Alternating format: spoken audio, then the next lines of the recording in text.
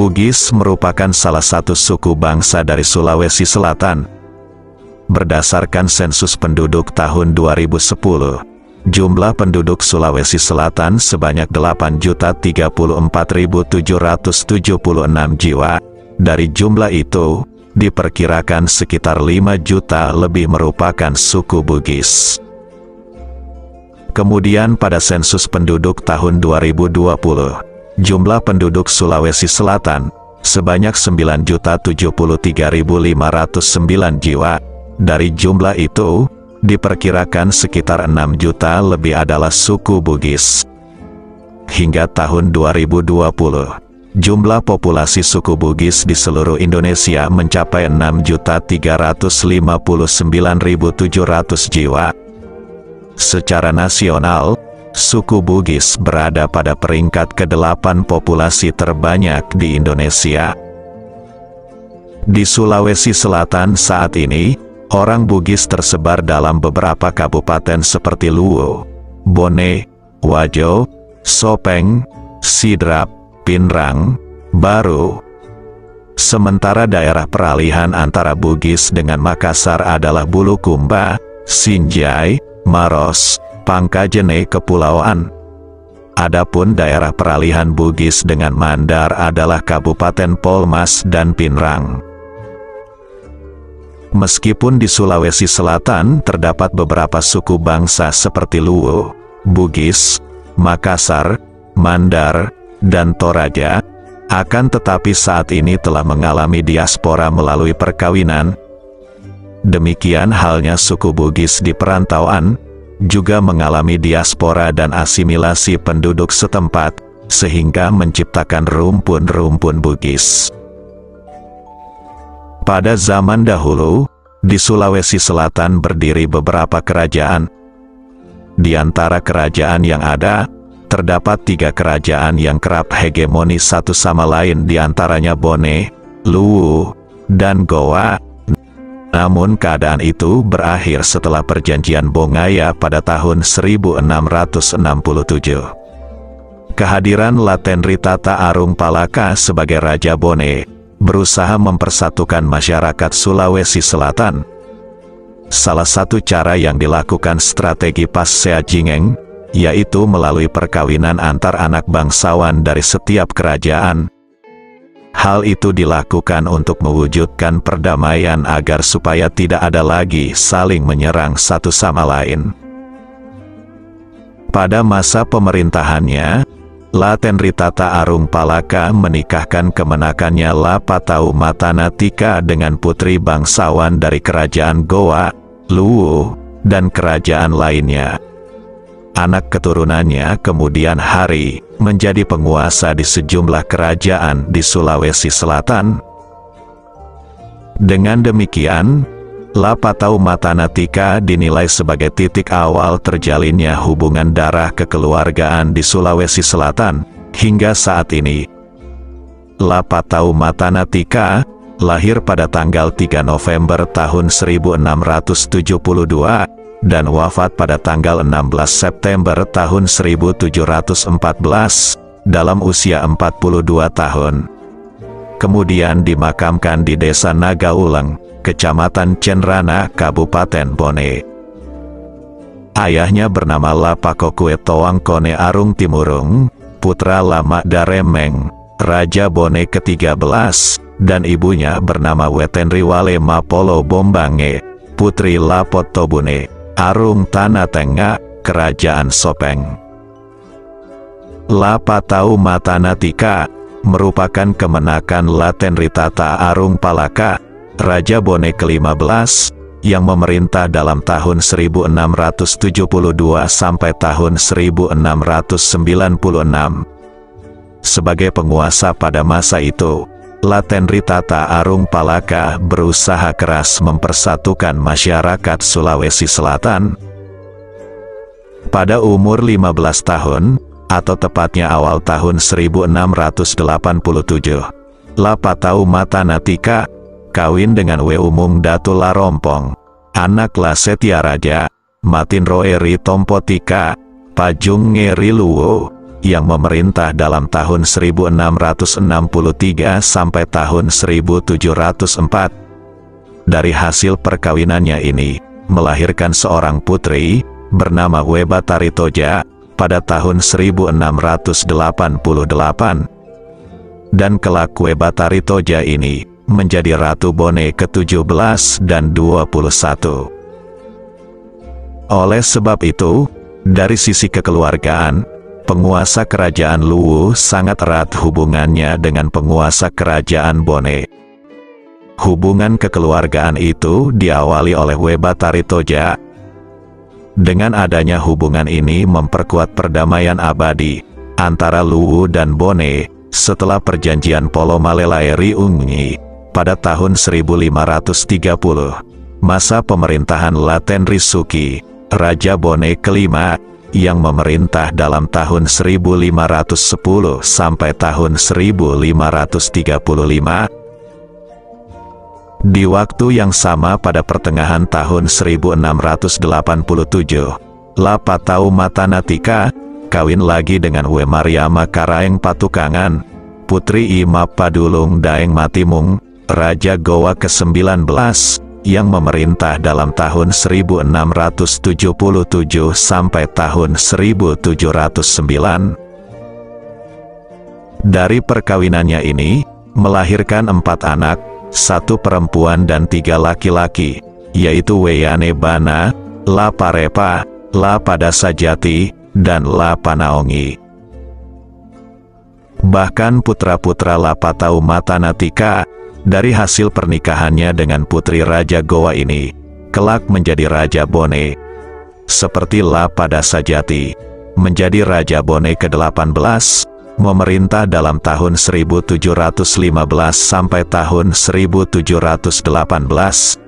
La Parepa, menjadi Raja Bone ke-19, memerintah dalam tahun 1718 sampai tahun 1721. Lapanaongi, menjadi Raja Bone ke-20, yang memerintah dalam tahun 1721 sampai tahun 1724. Oleh karena itu, dengan perkawinan Lapatau Matanatika dengan Wemariama Karaeng Patukangan Putri Raja Goa, semakin mempererat hubungan kekeluargaan antara kerajaan Goa dengan Bone.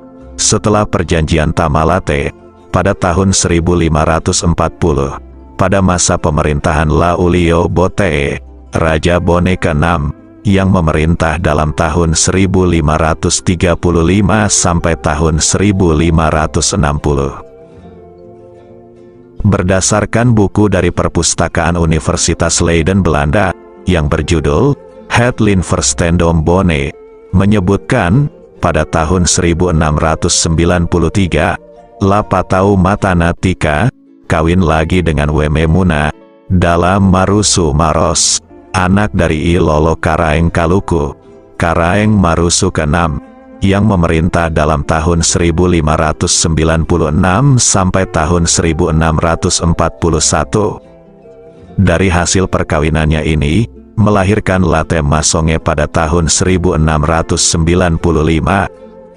Kemudian Hari Late Masonge, menjadi Raja Bone ke-22, memerintah dalam tahun 1749 sampai tahun 1775.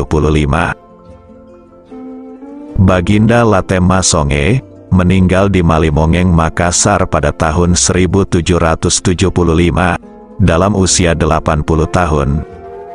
Beliau meninggalkan puluhan istri dan anak cucu, yang tersebar di berbagai wilayah Indonesia, dengan demikian, Latte Masonge merupakan jembatan penghubung darah kekeluargaan antara Maros dengan Bone dan sejumlah daerah di Sulawesi Selatan.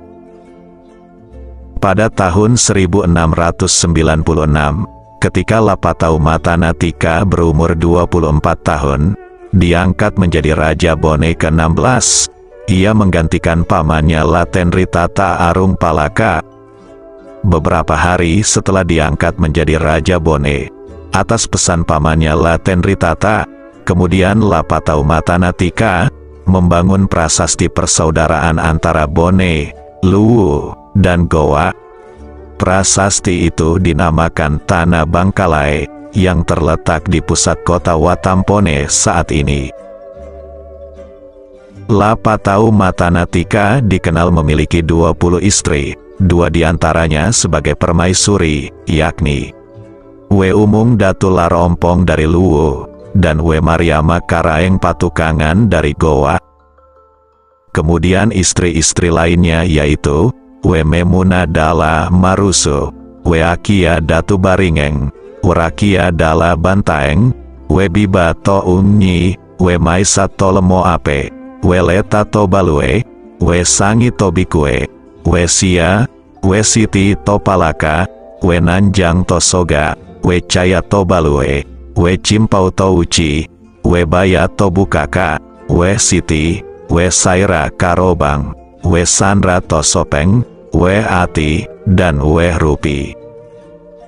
Adapun putra-putri dari 18 istri lainnya, antara lain yaitu, La Tongeng Datu Sopeng, We Benri, We Beni, We Jeling, We Maragelung, We Kima, La Magumet To Apesone, La Mapasore To Asimpuang, La Pasarai To Paeleri, La Pauseri To Malimongeng, La Setuang To Apatunru, La Masanira To Patawari, La Makarumpa, La Cileng To Apangewa, La Madenuang To Parepai, Weh Paselai, Weh Cikoda, La Wakari To Apasale, La Wati, Weh Lolong, La Mapaconga, dan beberapa putra-putrinya, yang meninggal saat lahir dan balita.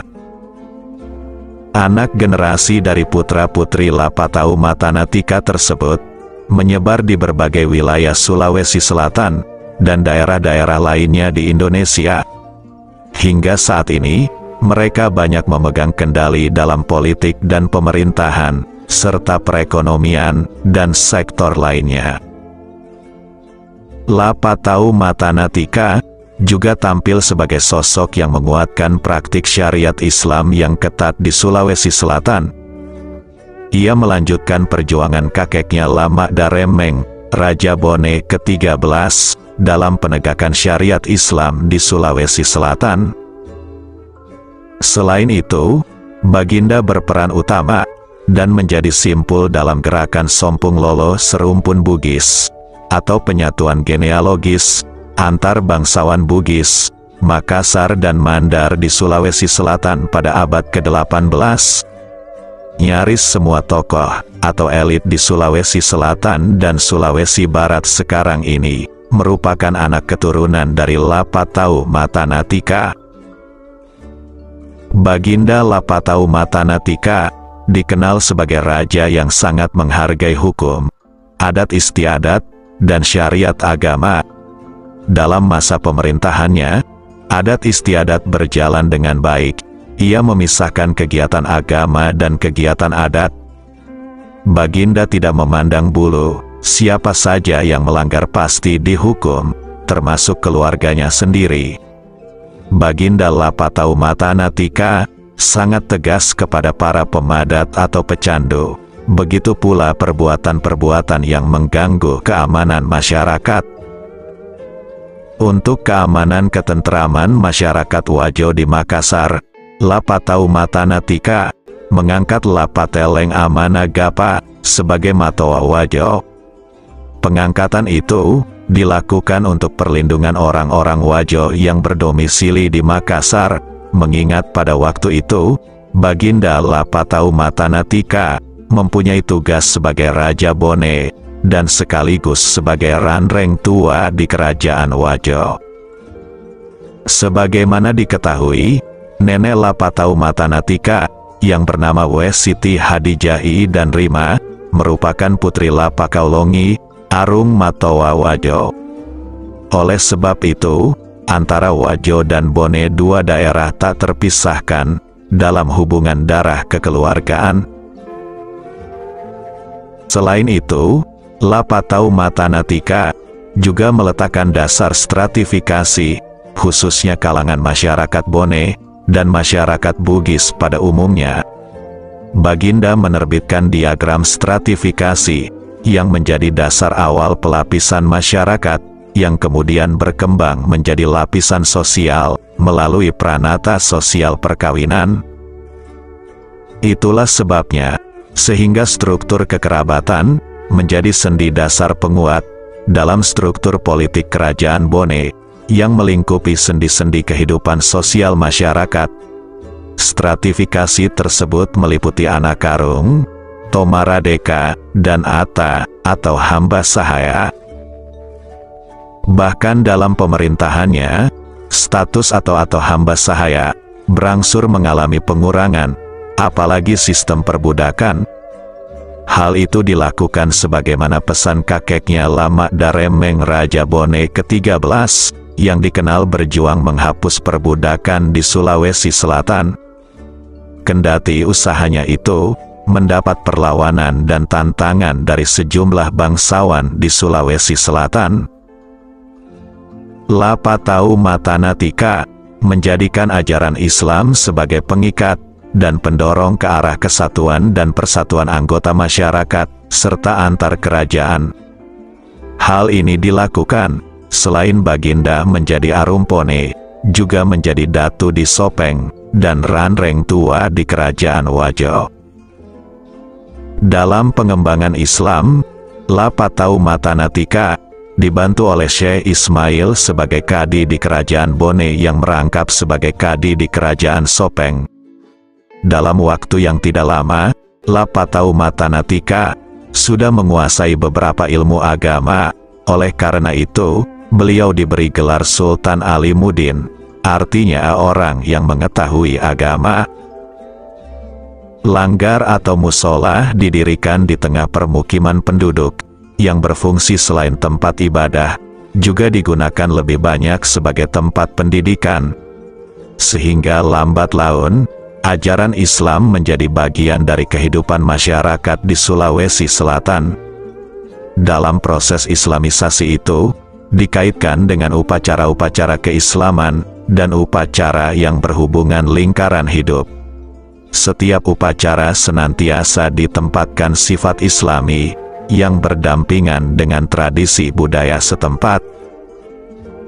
Oleh sebab itu, pada masa pemerintahan Lapatau Matanatika, dasar-dasar ajaran Islam sudah dimantapkan dengan kukuh, sampai pada gilirannya ajaran Islam menyebar dan menyatu dengan masyarakat Bugis. Sejak zaman itu, terciptalah ungkapan yang mengatakan, bukan orang Bugis kalau tidak beragama Islam. Dalam pemerintahannya, Lapatau Matanatika, mendirikan benteng dan istana di desa Nagauleng, kecamatan Cenrana.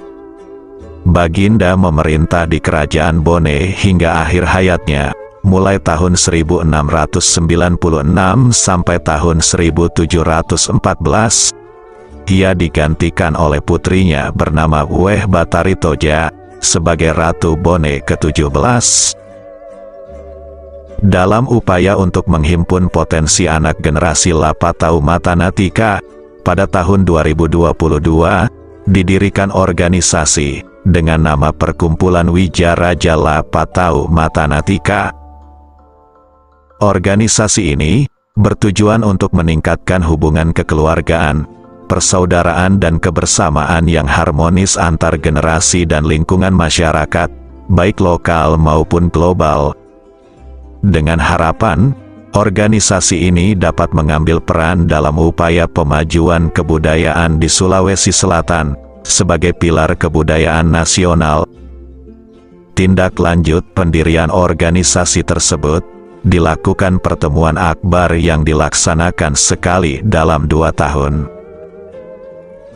Itulah sepak terjang Lapatau Matanatika selama dalam pemerintahannya, dengan strategi analisis SWOT, SWOT, yakni strengths atau kekuatan, weaknesses atau kelemahan, opportunities atau peluang, dan threats atau ancaman, Baginda mampu mewujudkan cita-cita pamannya Latenri Tata Arung Palaka, untuk menyatukan masyarakat Sulawesi Selatan, Analisis SWOT ini, setara dengan ungkapan Bugis Epa Capa atau empat ujung, yaitu cap palila atau ujung lidah, cap palaso atau ujung kemaluan, cap pakalang atau ujung potlot, dan cap pakawali atau ujung badik.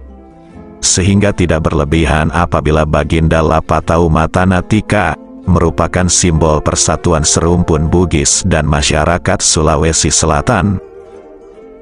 Mohon maaf atas segala kekurangan dalam narasi ini. Terima kasih. Sebagai hiburan, berikut lagu tentang Lapatau Matanatika.